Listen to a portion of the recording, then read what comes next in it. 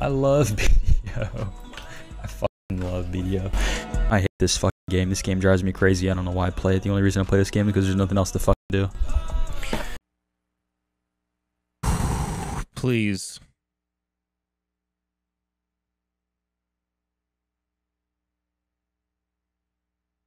I'm not optimistic for it.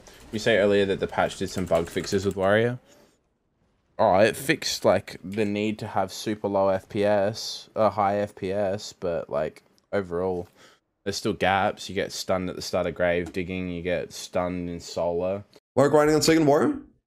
Because uh, sometimes I don't want to play warrior, and um, it can be a bit tiring playing the same class all the time. So like, uh, I tagged a warrior to my warrior, so when I want to play something other than my warrior, I can play my warrior. So I'll get to still play warrior while not playing warrior. It's pretty nice.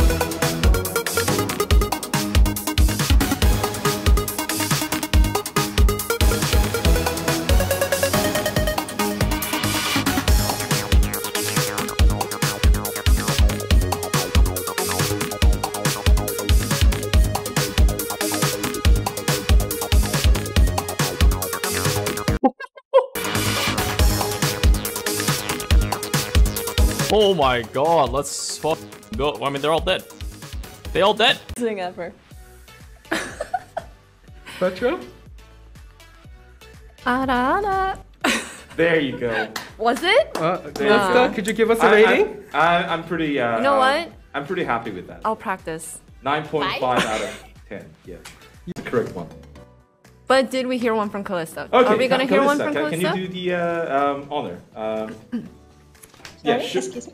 Yeah, like, can you do the uh, proper ara ara as a demonstration for Petra, please? Ada, ada. Oh my gosh. Okay, that's good. No, that's not fair.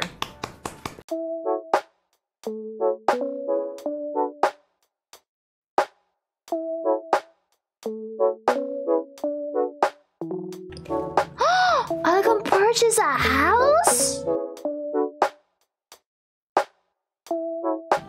I can a house.